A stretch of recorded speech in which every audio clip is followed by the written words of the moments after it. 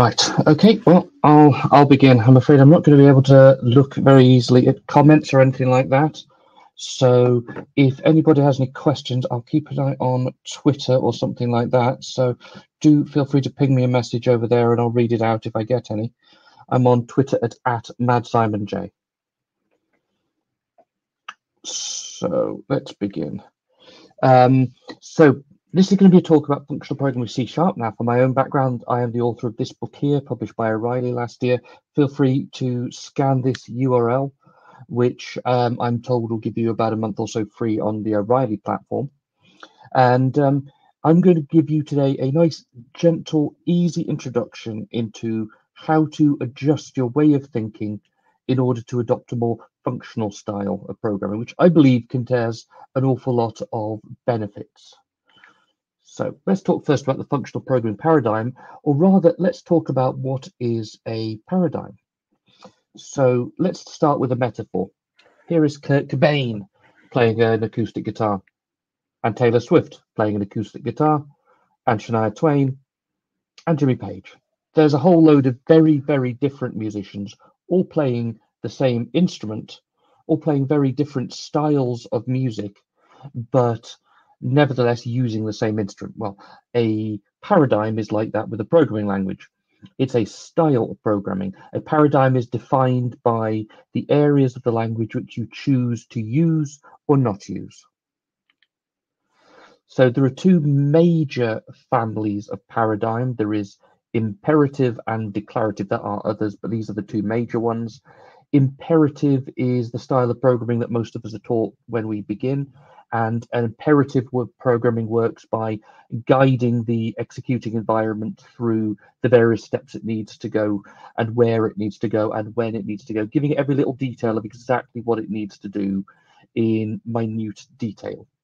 Procedural is a form of imperative which involves grouping things into functions and allowing those to um, uh, to be executed by calling them. OOP, I'm guessing probably most of the folks on this call are likely to know OOP is, that is object-oriented programming.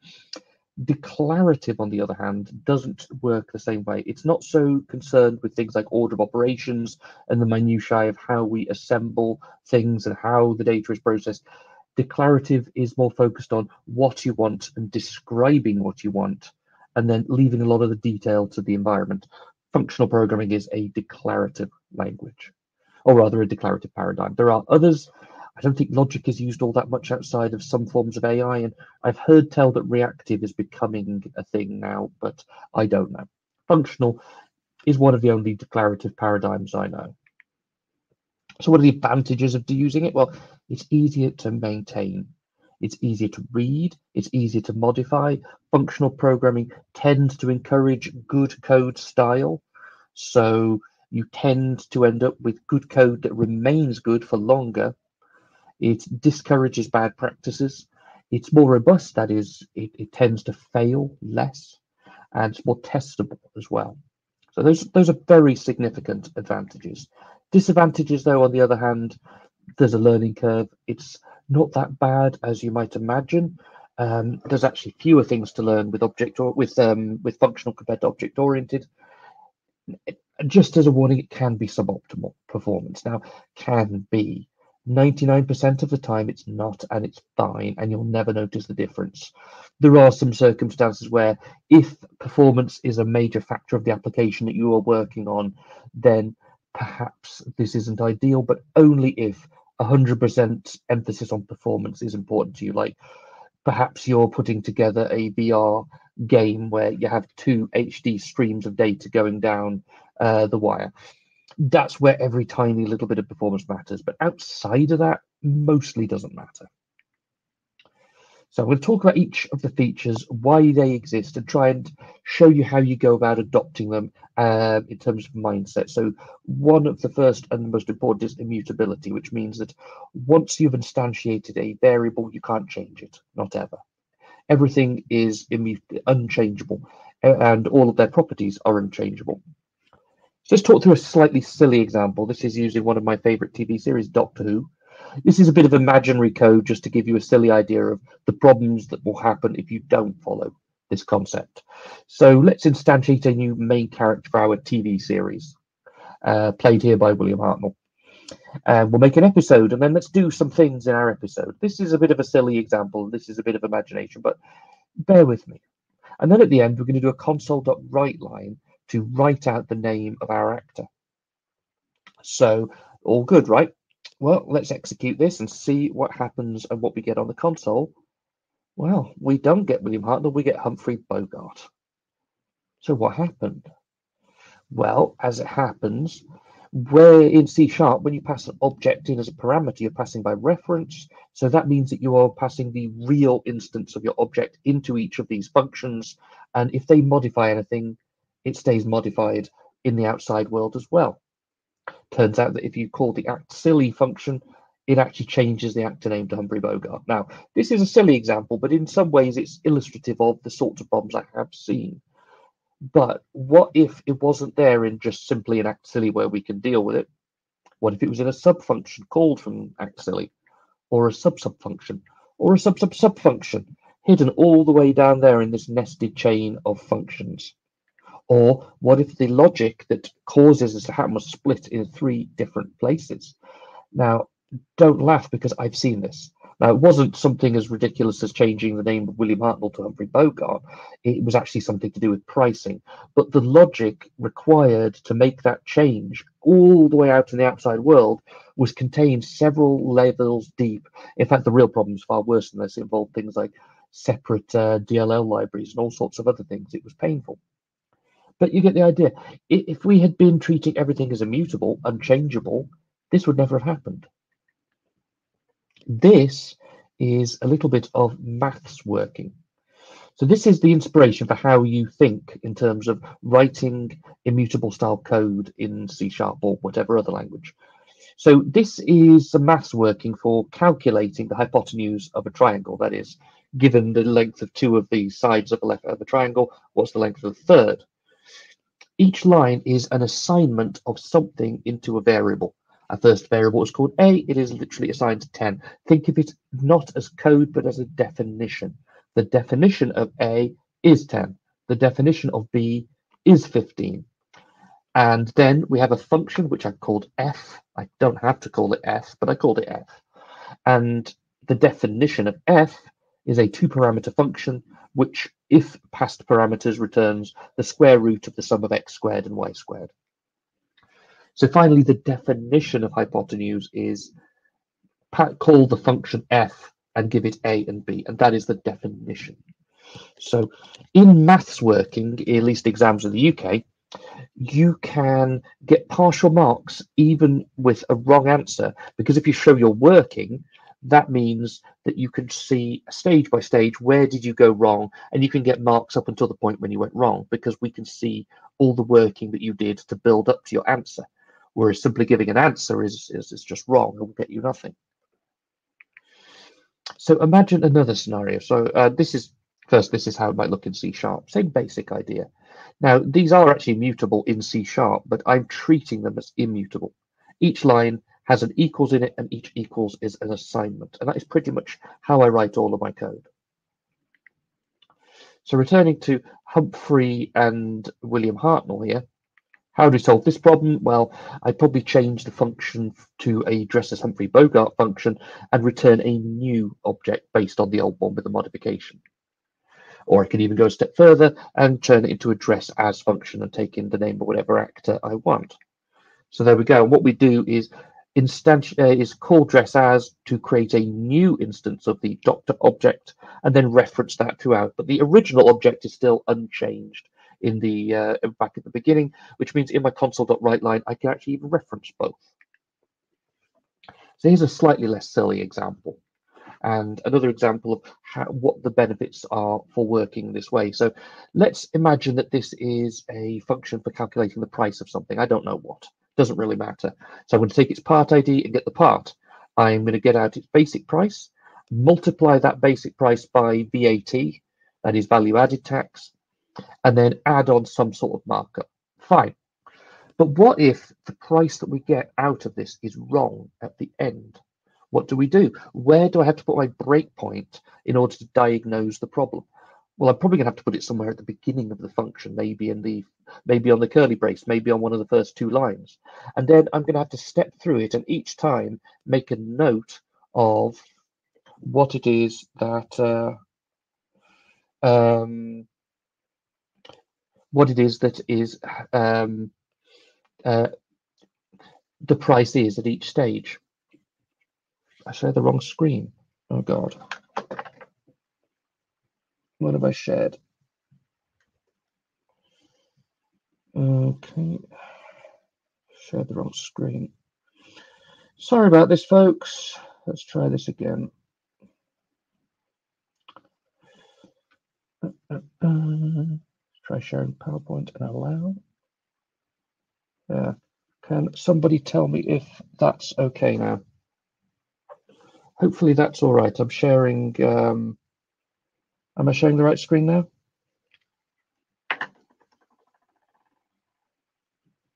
Two forty-one. Oh dear.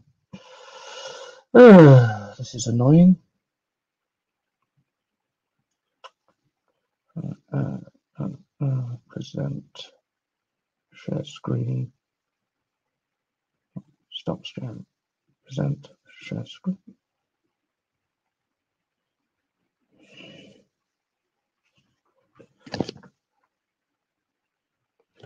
Hello.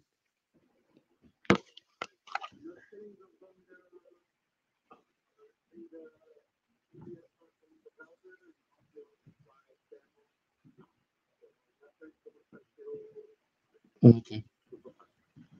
I'm trying to press the share screen button and nothing's happening. Well, I'll try, try leaving and come back in.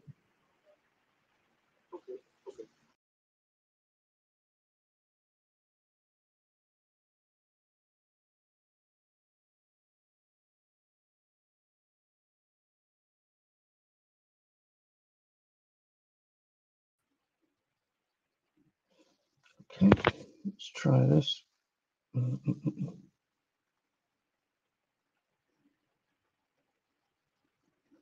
Okay, present, share screen. Select, I want to share the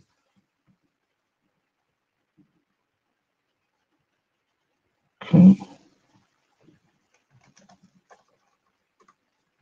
Apologies for anyone who's listening. How's that? Are we seeing? Uh... Oh.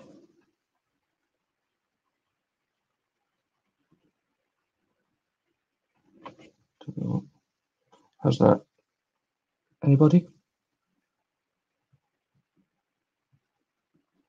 Nothing on screen. Great.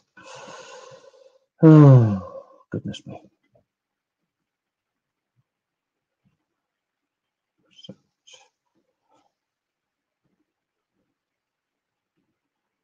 You what we are going to do. I'm going to try and upload my slides and see if I can do it from that. Then maybe that will solve the problem.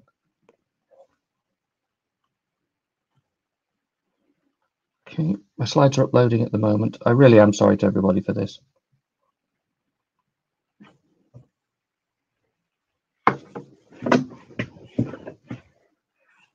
Keep it a minute.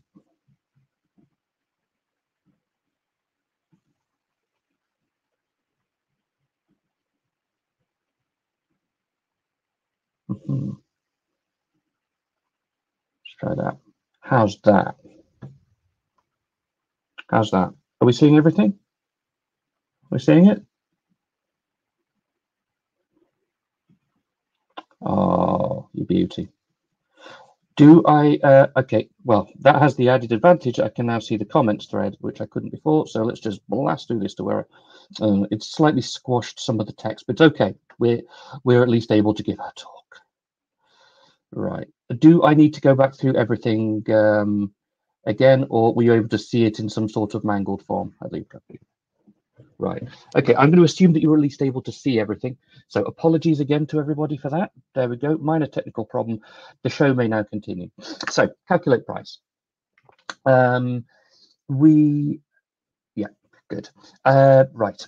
So where would I put my breakpoint in order to um, determine where the problem was. Well, I'd probably have to put the breakpoint somewhere near the beginning of this function and uh, then step through it and then make a note at each point because as we change price, as we do a multiply equal or a plus equal, we are destroying the original value of price and replacing it with something else. So if you, on the other hand, worked in an immutable style, then you have two advantages. One is that I could put a breakpoint similarly on the return and then I can hover over each of the previous steps in turn and see what their values were. And then, like with my mathematical working, I can um, work out where it went wrong. So I can get to the source of my problem quicker. And by putting a name here, we have also the small advantage that we're able to get a little bit of extra documentation, in effect, with the variable names in our function. We can explain what the purpose of each line is. So there's less need for putting any um, comments in or anything like that. So moving on, results-oriented architecture. So I don't know if there's a proper formal name for this, but this is the name I use. That is that functional, being a declarative language, is much more concerned with the results than how we obtain them. So consider this bit of TSQL. What is the actual order of operations in this TSQL? Well, it's it's not the order that you write them in. It's actually something more like this. So other than perhaps the order by, the select is actually the very last thing to be executed. And that's the thing that we're the most interested in. That's the thing that we actually want at the end. Then if you want to go beyond simply the select, you go into further detail beyond that to work out how the select came by the data that it operated on. And that's ideally the way to write um, C sharp code as well, at least if you want to write it in uh, uh, um, a functional style. So here's another slightly ridiculous made up example. I've got a data uh, item. I've, I've, called it complex com uh, custom object, fine. And I'm trying to assemble it based on various bits of source data, whatever that is. It doesn't really matter. And it's got four properties, and I've just called them A, B, C, and D. What uh, property A and property B are is relatively straightforward, no real problem there. They're just two things added together. But things get complicated a little with C and D. There are two different places in which these are defined because we've used a branching if statement.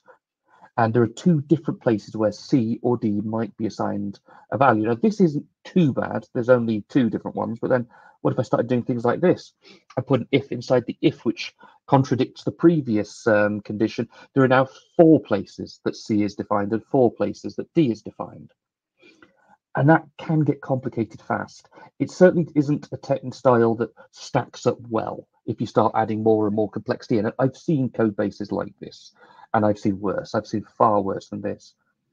Rather, it would be better to rearrange the code so that everything is structured around a single definition of truth for each of those properties A, B, C, and D. There is only one place each of those properties is defined.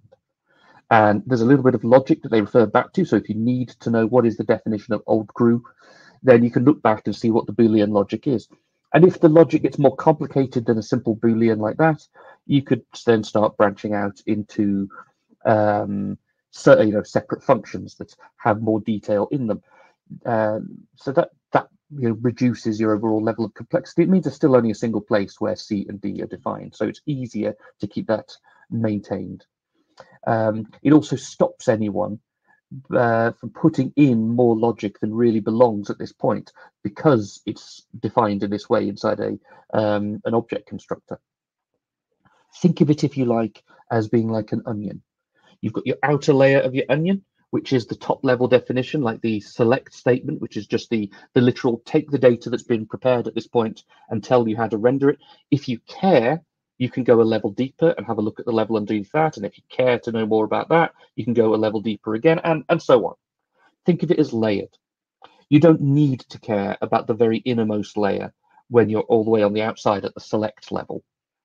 Uh, with object-oriented code, you often have to blend those layers together because you've got no choice in the matter.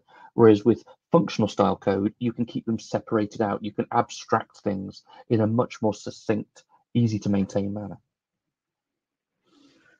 So present uh, predictable code with no side effects, often called a pure function. So that is when you write a function in functional style code, you want it to always have the same predictable results no matter what you do. Given the same variable in, you get the same result out, and no side effects. Nothing else should happen as a result of executing this function. Like, for example, inadvertently transforming yourself into Humphrey Bogart.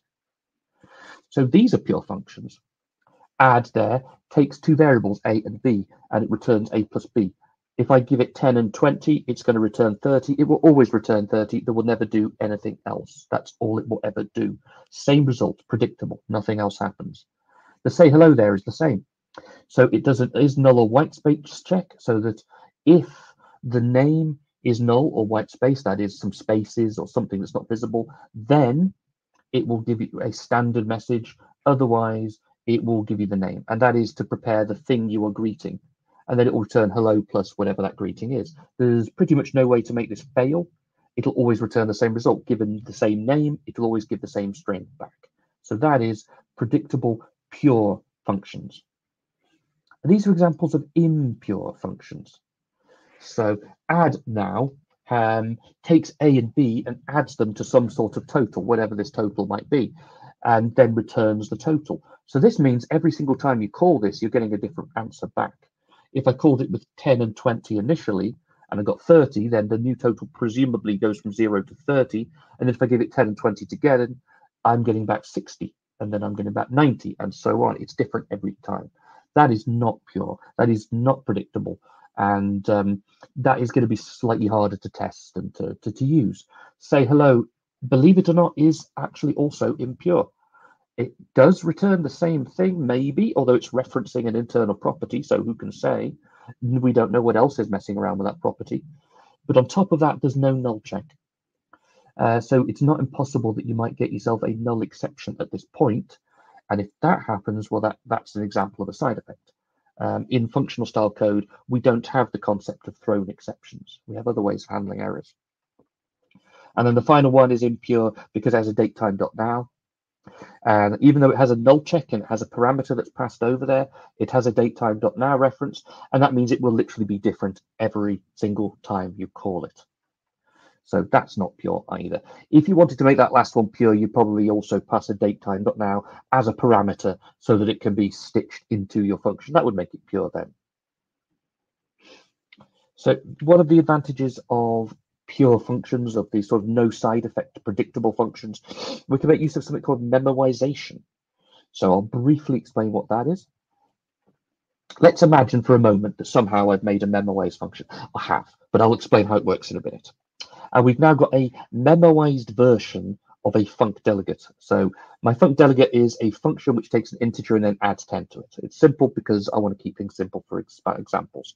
So if I memoize it, it's done some extra magic to it. There's an extra layer around the function now. And it has to be a func delegate, by the way. You can't apply extension methods to a function in C sharp. Um, now, I've called it four times on the lines below, twice with 10 as a parameter and twice with 30. If it's memoized, it only actually performs the calculation twice, once to define A, and then once again to define C. If it's memoized, it stores the result from the given parameters and then returns a stale version of that result if you supply the same parameters again. Which means that you basically got um, function level caching. It's, it's a form of caching. But because you've written pure functions with no side effects, you can do that freely and it should always work without problem. If you want to see how it's implemented, well, there's actually quite a few ways you could implement this. This is my super duper uh, simple version of how I might implement it. Um, I've created a dictionary inside the memoize extension method, and I require that a function is given to me which turns the old value into the new value, uh, or the key into the, uh, you know, the, the parameter into the final value. And then I check the dictionary to see if that key, that, that parameter has been supplied. If it has been, then just return. Otherwise, if it hasn't been, add it to the dictionary and then return. So in the case of my example, uh, I call m add 10 with 20. It checks to see if 20 is in the dictionary. It's not. It adds 20 into the dictionary with the answer of 30. And then when b comes around for var b, then it sees 20 again. It checks the dictionary, finds it's there, and that the value stored in the dictionary for key 20 is 30, so it just returns 30.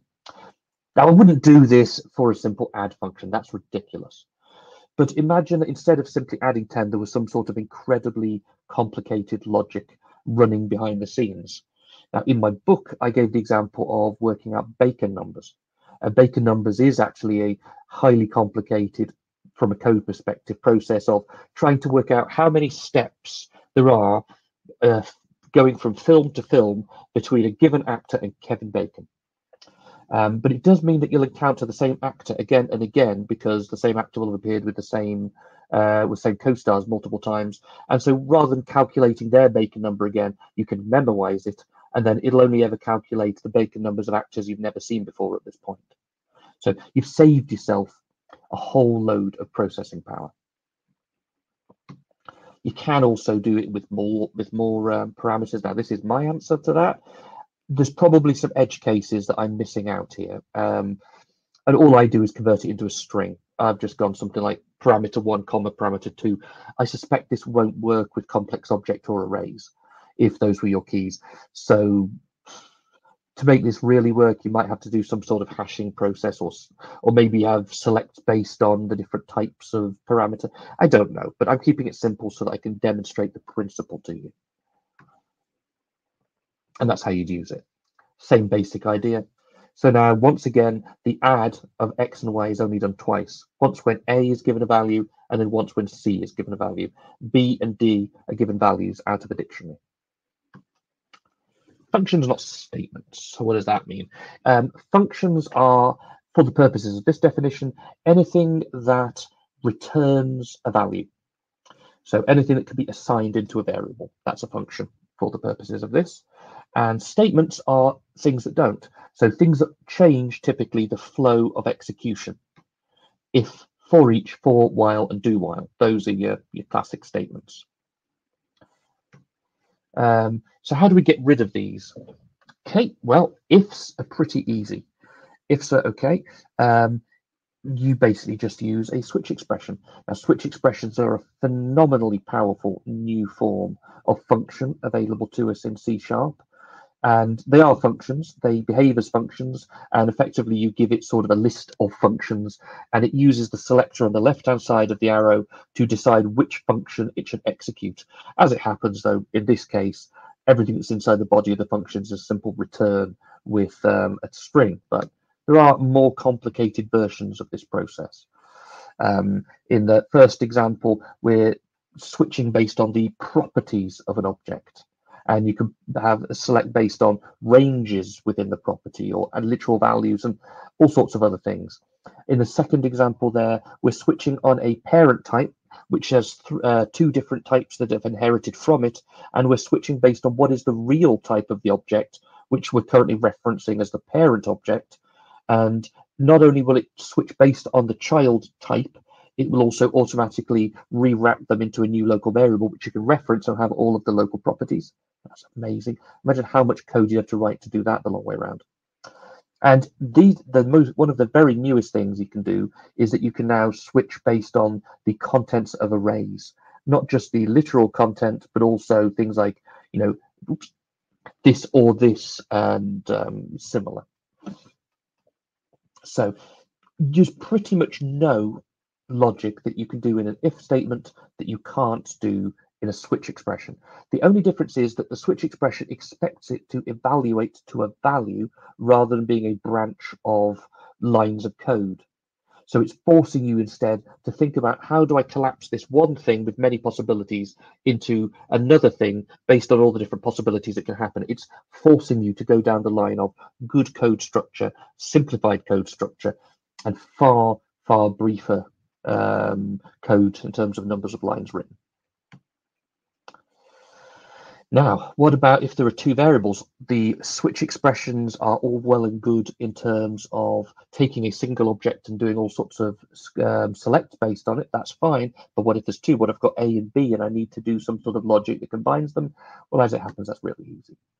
You um, you put them into a tuple, which is just normal normal brackets, and then switch based on the tuple. The tuple just basically throws together what amounts to a temporary object consisting of whatever you put into it, and then you can switch based on those properties. So there really is no reason not to use this.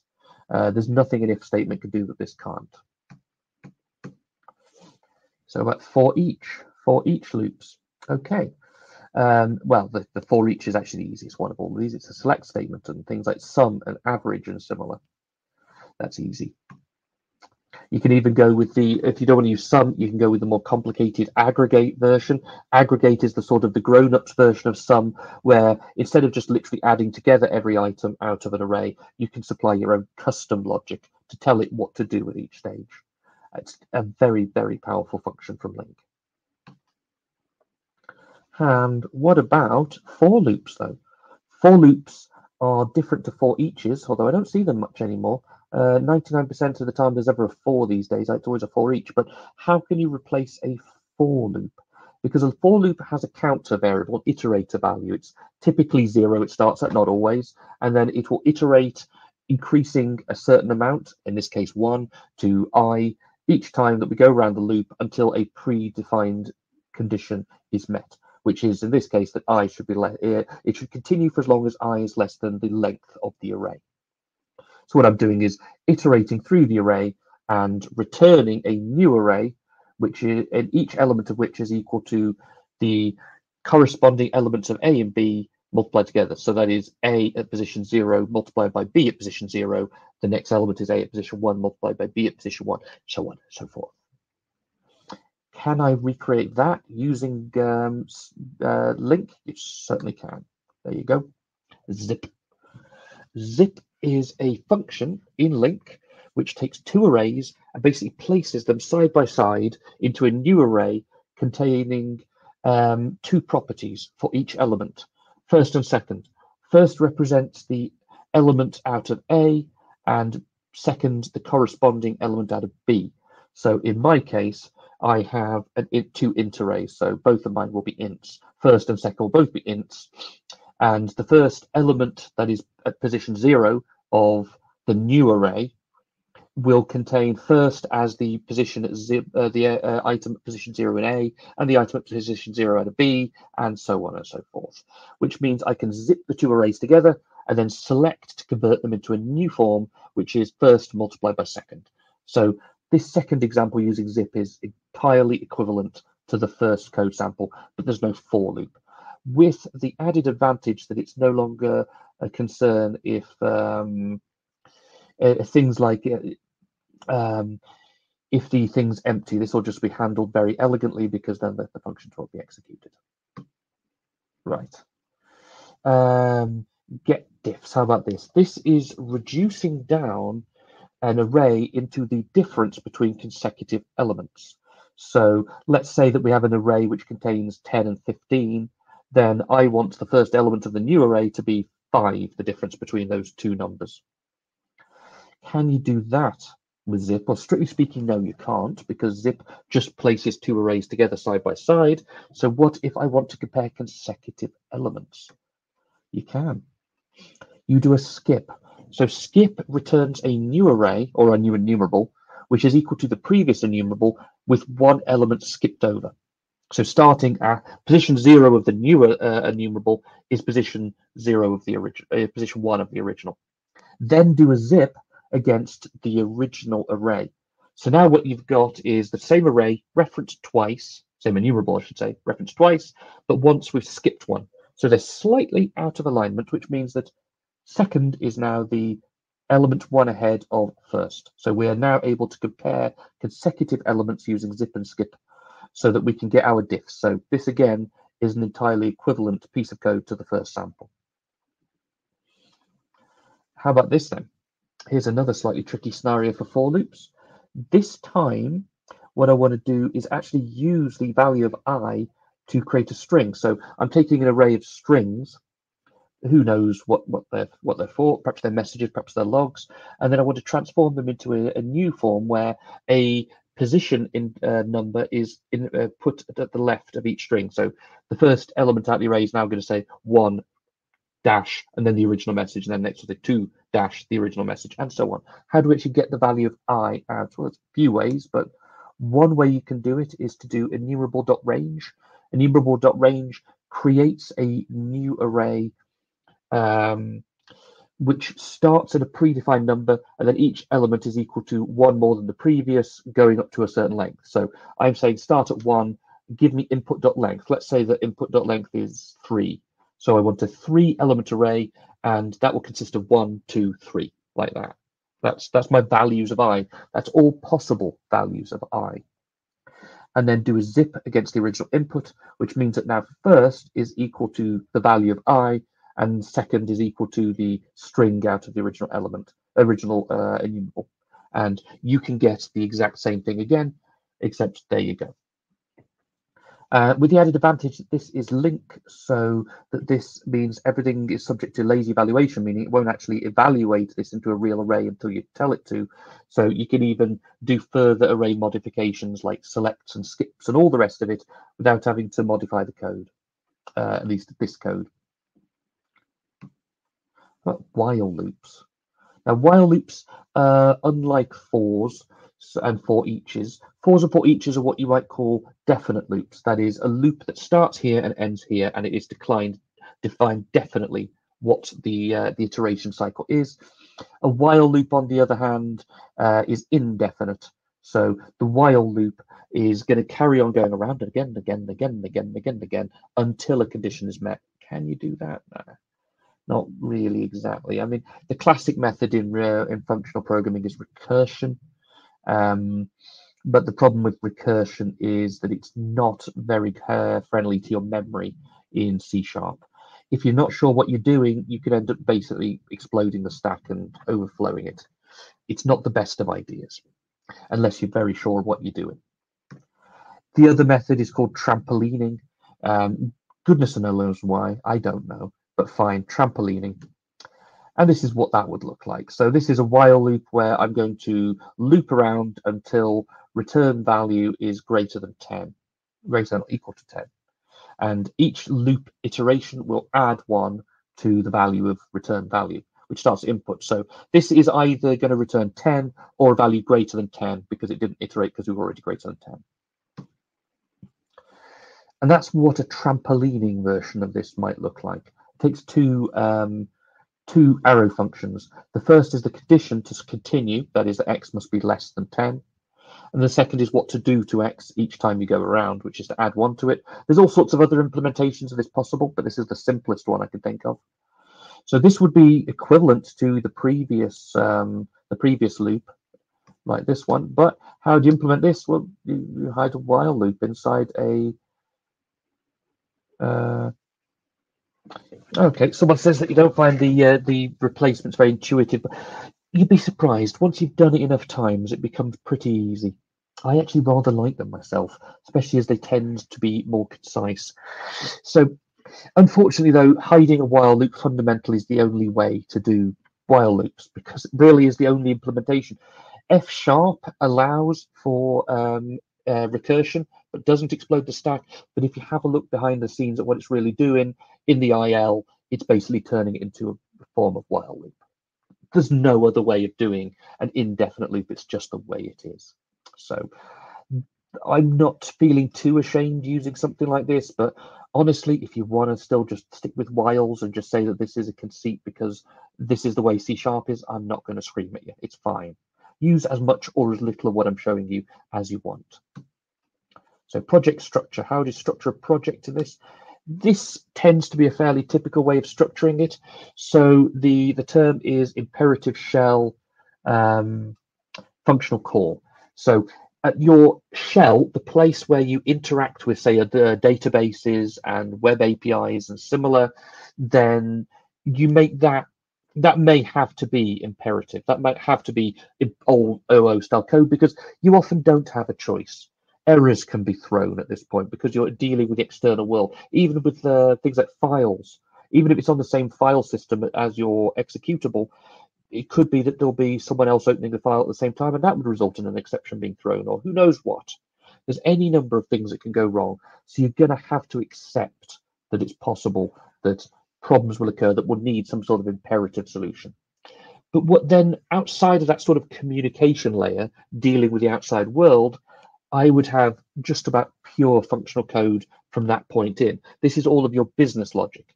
I'd make all of the business logic as purely functional as possible, writing with pure functions, as in no side effects and uh, predictable results. But then you see the little red dot in the middle there? The little red dot in the middle there is my extension methods. So there are extension, if I'm going to write somewhere close to purely functional code, there are occasional conceits and exceptions I have to make to my functional style because it's just again C sharp, like while loops. There's no other way.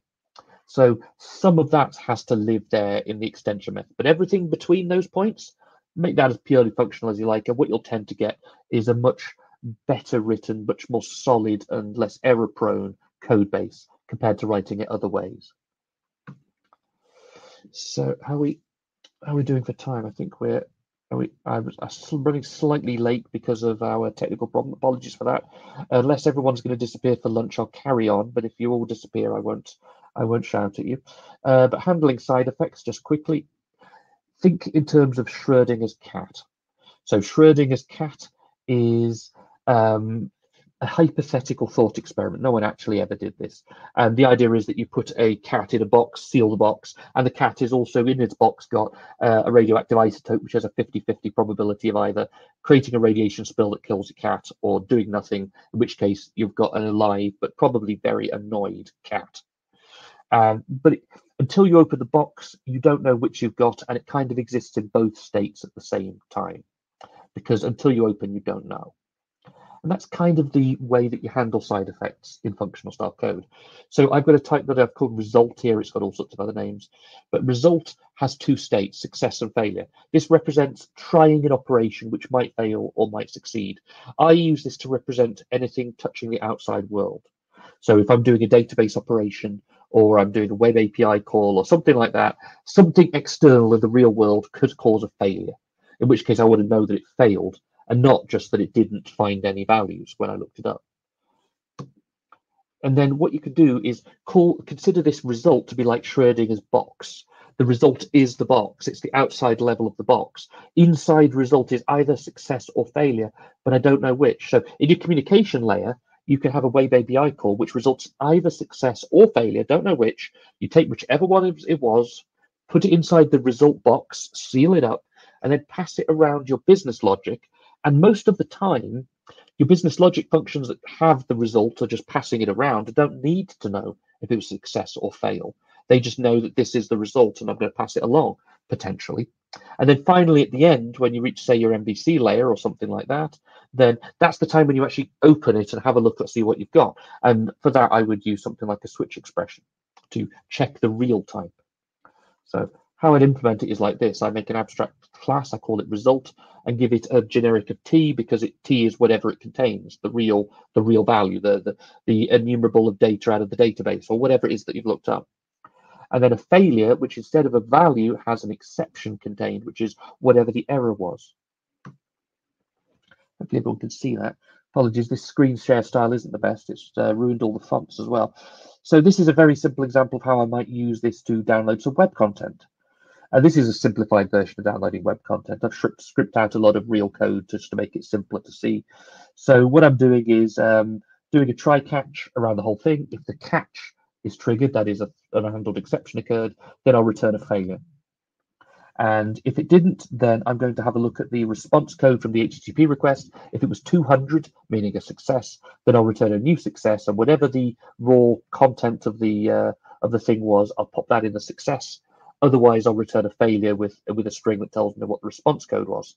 So that means that by making the return type of download web content result of string, I'm saying that it expected to have a string, but I don't know if it actually worked. I'm saying, telling you right now, I don't know if it worked, and it's up to you to decide if you care if it worked or not. But what if I want to convert my string outside that into something more reasonable? Like, you know, take this JSON string and turn it into an object. How do I do that? Well, it's it's it's easily done. Here we go. A function called bind. Bind takes uh, a function which tells it how to transform string into whatever. Think of it as like a select, except it operates on the object as an entirety and not individual elements. So it's x here is string because the uh, raw string data that came out of my web content downloader was a result of string. So the X inside my bind is the string, the whole string. And then I'm giving it some sort of function, which is somewhere else in my code base, which is going to parse that string into a something fun class. Now the bind knows inside the bind whether it was a success or a fail, and it will only execute the function passed in if there was success, which means that even though we're operating on the raw string data, the result of string, the uh, bind, uh, the this class here, this function here, get something fun, doesn't need to know if the parsing was done or not. Basically, it, it's if it was a success, it will be parsed, and otherwise not think of it like this. So we start with result, which either was success or failure. If it was failure, we're just going to put that failure back in a result box and move it on. If it was a success, then we're going to run the extra function and then put that success into a result box. And then whatever takes the new result box, which is now a result of something fun, uh, we'll take this box and decide, do you want to open this box and have a look to see what's inside it, or just pass it along unmodified? That's your choice. You don't have to. And that's what it looks like. There are much more complicated versions of this logic. I've kept it simple for the purposes of this demonstration, but switch expression. Switch to see whether it's the previous thing was a success or not. If it was a success, run the function that was passed in as a func delegate, and then take the old value, put it into the function, and then make that the new value and return on. Otherwise, if it was a failure, just take the error and put it back into an envelope box or whatever, the failure box, and pass it along. So it means you don't have to worry about dealing with what would otherwise have to be handled with either uh, an empty array if you requested an array of data, which tells you nothing. The empty array, does that mean that nothing was found? Or does that mean a failure? You don't know. Otherwise, you're going to have to do something like create a metadata object, which has got additional items on it with success, failed, true, and an error field, which you may or may not use. So you're adding to the complexity of your code base. Whereas if you use the results with success or failure, it's simple and elegant. It's a box that you can open or not, and you can pass it around as you want. And you can even change its type and just use the same style of enveloping. Easy. This is kind of an example of what a monad is, but I'm not going to go further into monads because I don't want everyone's heads to hurt. Um, also, you could use it to do things like this. Let's say, imagine that you've got three stored procedures. You want to run one after the other, but if one of them fails, you don't want to continue. So you can use the same principle to say success or failure, and a success means run the next function, and then a failure means don't run the next function. There, that's I'm only eight minutes over. Apologies again for the technical problems. Um, but this again is my book. Now i've given you the super simple version of this. If you want to see the the more complicated one that deals with more edge cases goes deeper into things like functional theory to an extent there you go. That is the book that i wrote. It took me a year or so to write. It is a bit silly i do warn you but um, that goes into a lot more about this so if i've intrigued you with these ideas about how to write functional style code and you want to see how to do it in more depth um, to cover more situations and to go further than I've given you in this little 40 minute demo, then do feel free to have a look at my book and other books too. Uh, Enrico Buonanno wrote one for Manning. He is also an incredibly good author, and I recommend that book thoroughly as well. Thank you very much, and I will let everyone go and get on with their break. Apologies again for the technical problems, but I am around and I am here. I am also on Twitter and various other places. If anyone wants to reach out to me, my website address is in the corner of the screen up there. Feel free to get in touch if you have any questions whatsoever, and thank you very much indeed.